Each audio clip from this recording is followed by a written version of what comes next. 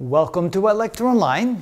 Our next example, again, uh, includes three fractions. We're adding them together. We have three different denominators, and now we're supposed to look for the lowest common denominator. We could multiply them all together. If we did, the, lowest, the denominator would be 6,000, and I don't think you want to work with denominators that are that big. So let's find the lowest common denominator, and we have two methods to do so. The first method is to take the largest one and find multiples of the largest one until we find one where the other two denominators fit evenly into. So starting with 40, you can see that 10 fits evenly into 40, but 15 does not. So now we try twice 40, 2 times 40. So 2 times 40 gives us 80, and does 15 fit into 80 evenly? And the answer is no, so we move on to the next one. 3 times 40 that's equal to 120. Does 15 fit evenly into 120? And the answer is yes. Does 10 fit evenly into 120? And the answer is yes as well. So now we found our lowest common denominator, 120. Let's try the second method. For the second method, we take each of the three denominators and write them as a product of its factors. So 40 can be written as 2 times 2 times 2 times 5. 2 times 2 times 2 is 8, times 5 is 40.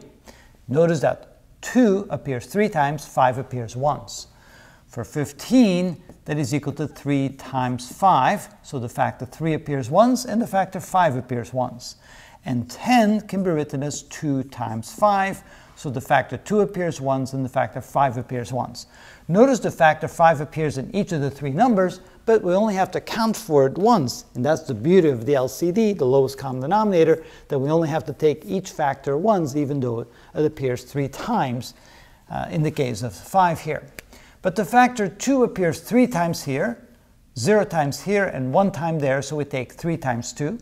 The fact that 3 appears once here, nowhere else, but we do have to take into account because it appeared once. And the factor 5 appears once here, once there, and once there, but we only count for it one time.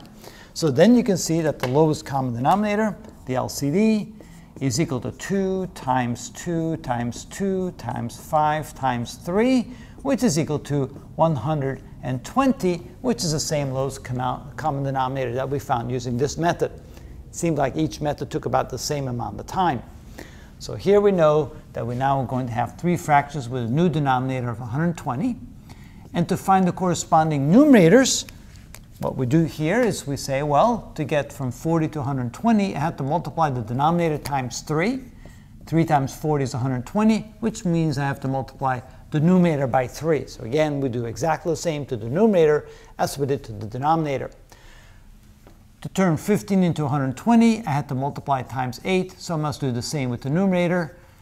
10 times 12 will give us 120, so I have to multiply the numerator by 12 as well. So now we can go ahead and find the new numerators. 3 times 3 is 9, 2 times 8 is 16, and 7 times 12, that would be 84. 84 plus 16 is 100, plus 9 is 109. So this is equal to 9 plus 16 plus 84 over the common denominator of 120, which is equal to 109 over 120. And since 109 is a prime number, we don't, we can't reduce that one anymore. So again, we had our two methods. It seems like either method was just about as fast as the other. So here becomes purely a matter of which method you prefer. Do you prefer this method or that method? You can clearly see that any one of those two works just fine. And that's how it's done.